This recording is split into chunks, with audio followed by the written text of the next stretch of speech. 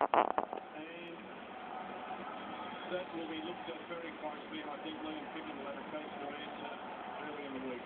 Have you ever seen have a